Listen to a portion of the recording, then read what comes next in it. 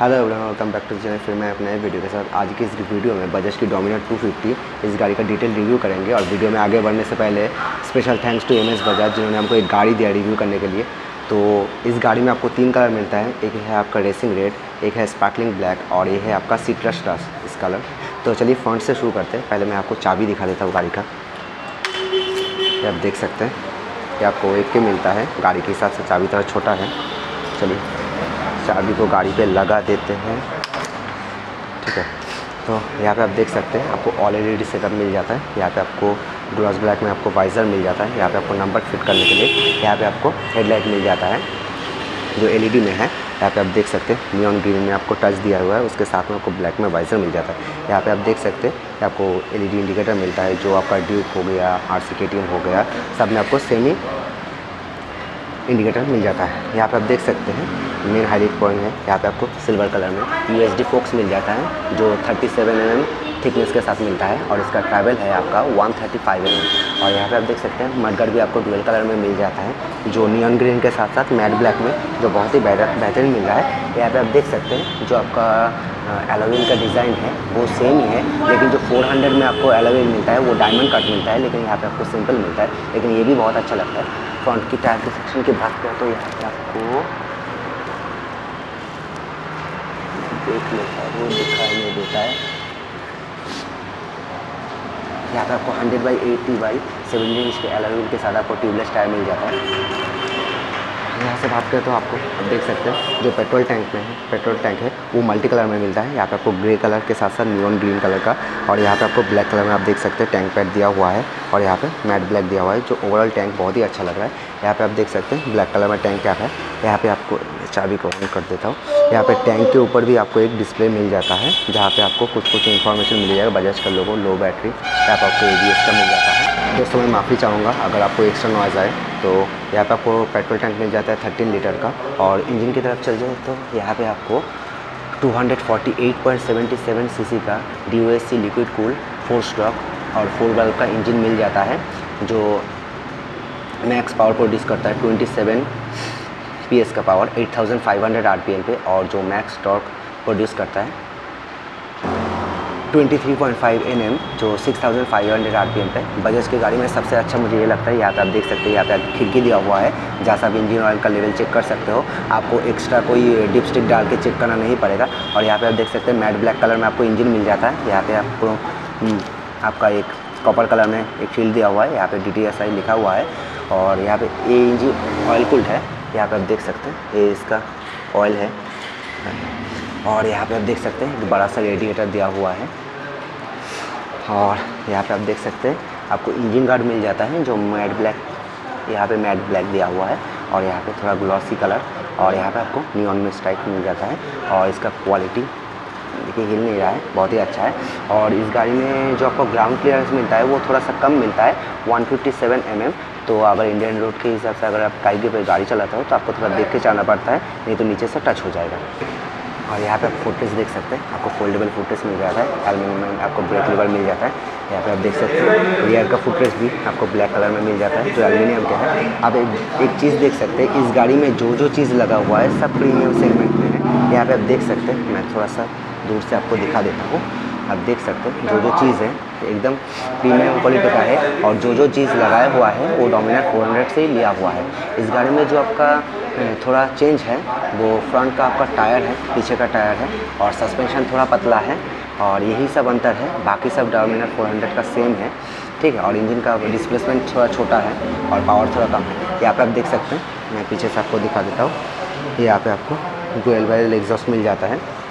और यहाँ पे आपको बॉक्स टाइप सिंगम मिलता है, लेकिन डोमिनर जो 400 है, वहाँ पे आपको एलमिनियम सिंगम मिलता है। इस गाड़ी ये गाड़ी डुअल चैनल ए है। यहाँ पे आपको पीछे का जो ब्रेक का साइज़ मिलता है, वो आपको टू थर्टी एम का मिलता है और ये बाईवेर की तरफ़ से कैलिपर है और पीछे का जो टायर मिलता है, वो आपको देख लेता हूँ पे लिखा हुआ है।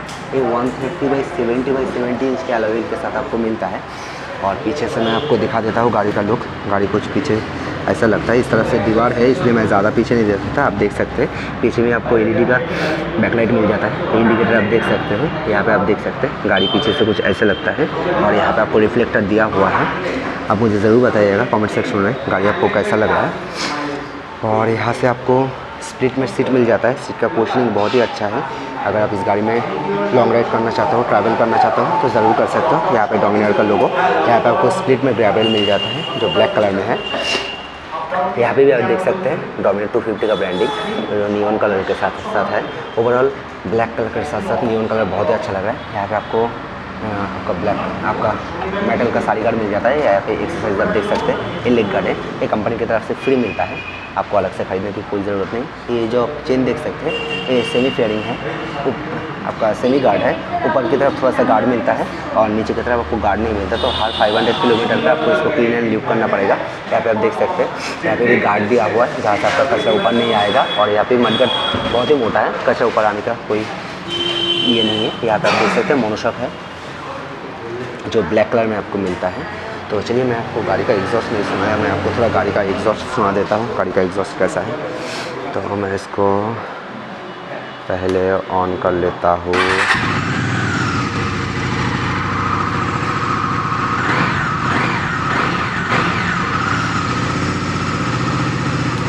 इसको बंद कर देते हैं तो गाड़ी का एग्जॉस्ट आपने सुना, एकदम सेम टू सेम डोमिनर 250 की तरह है। और बहुत बेसी है, आपको एक्स्ट्रा जो जो वॉल वर्क करते हैं आफ्टर मार्केट में एग्जॉस्ट लगा लेते हैं, वो आपको लगाने की कोई ज़रूरत नहीं, क्योंकि यहाँ पे एग्जॉस्ट आपको बहुत ही बेसी मिलता है। तो दोस्तों, मैं एक बार आपको इस तरफ़ से गाड़ी दिखा देता हूँ। आपको कैसा लग रहा है, बोलिएगा। और मैं एक चीज़ बताना आपको भूल गया, जो ये फ्रंट का डिस्क ब्रेक है, ये 300 हंड्रेड mm का मिलता है, और फ्रंट में भी आप देख सकते हैं एबीएस है। ये गाड़ी डुअल चैनल ए है। तो इस तरफ़ से आपको ये टायर कैसा लग रहा है बोलिए।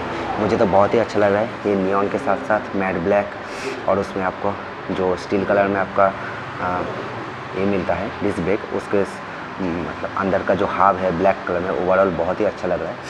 और यहाँ से मैं आपको दिखा देता हूँ, ये आपका लेग गार्ड मिलता है। लेग गार्ड थोड़ा पतला है गाड़ी के हिसाब से। और इस गाड़ी में आपको सिंगल स्टैंड मिलता है। और मेन स्टैंड नहीं मिलता है यहाँ पर आपको single stand cut off sensor मिल जाता है।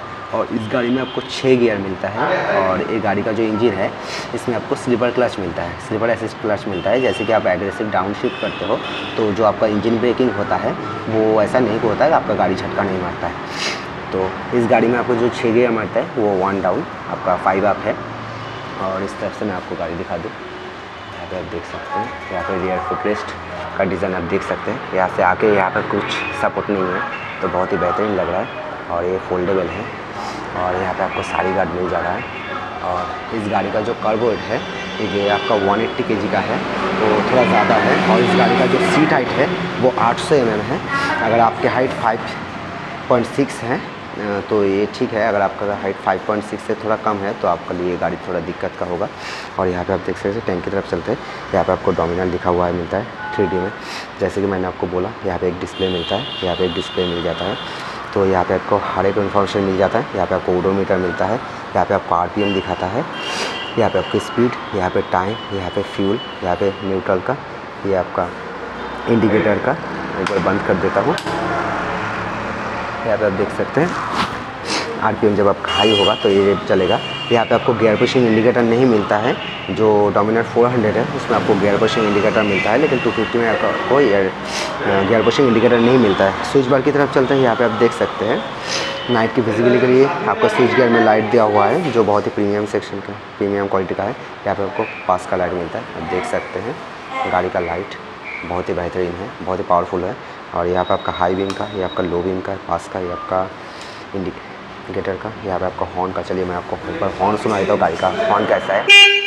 जैसे कि आपने देखा गाड़ी का हॉर्न बहुत ही लाउड है।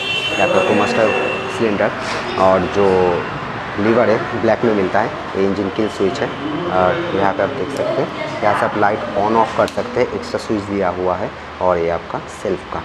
और इस गाड़ी में अभी मिड मिरर लगा हुआ नहीं है, लेकिन जो डोमिनर का 400 का मिरर है, वही मिरर इस गाड़ी में मिलता है। तो मिरर भी बहुत स्टाइलिश है। और ओवरऑल मैं आपको एक बार फिर से गाड़ी चारों तरफ़ से दिखा देता हूँ। आपको कैसे लगा? तो बोलिएगा गाड़ी। और जो इस गाड़ी का ऑन रोड प्राइस है, वो एम एस बजाज के हिसाब से मैं आपको अभी बोल देता हूँ, इस गाड़ी का ऑन रोड प्राइस क्या है। तो इस गाड़ी का जो ऑन रोड प्राइस है, वो है टू लैक्स टेन थाउज़ेंड मतलब दो लाख दस हज़ार रुपये अप्रॉक्स उससे थोड़ा कम होगा, लेकिन ज़्यादा नहीं होगा। तो इस गाड़ी में जो जो तीन तीन कलर मिलता है, सब कलर का सेम ही दाम है कलर वाइज कोई वेरी नहीं करता है, जैसे दूसरे कंपनी करते हैं, इस कलर का थोड़ा कम कर दिया, उसका का थोड़ा ज़्यादा कर दिया, लेकिन आप कोई भी कलर चूज़ कर सकते हो, ठीक है? आपको सेम दाम ही मिलेगा। और आपको अगर ये वीडियो अच्छा लगे तो वीडियो को लाइक करना चैनल को सब्सक्राइब करना मत भूलिएगा। आज के लिए इतना ही, फिर मिलेंगे किसी और वीडियो में। Thank you so much